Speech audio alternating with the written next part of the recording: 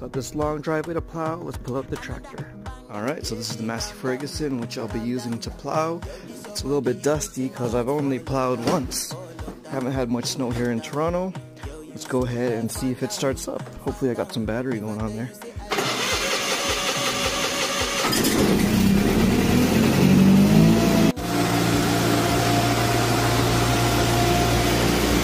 So there was a big storm that uh, they warned us about, but nobody thought it was going to happen because we haven't had much snow.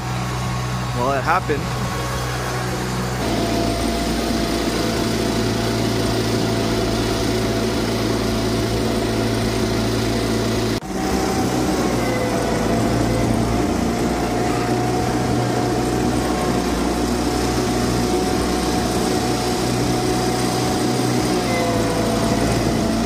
And that's it guys all cleaned up